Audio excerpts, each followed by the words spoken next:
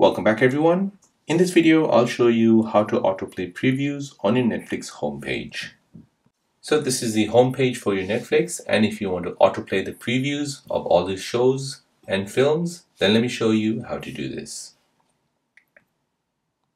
So first you want to go ahead and open up the Netflix app.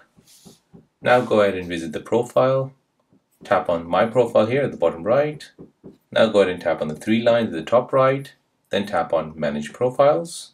Go ahead and choose what profile you want to edit. Now from here, go ahead and find Autoplay Previews. So as you can see, this is currently switched on. To switch it off, go ahead and toggle the switch to the left hand side. To switch it on, go ahead and toggle it to the right hand side. Now once you're done, go ahead and tap on Done, Done again.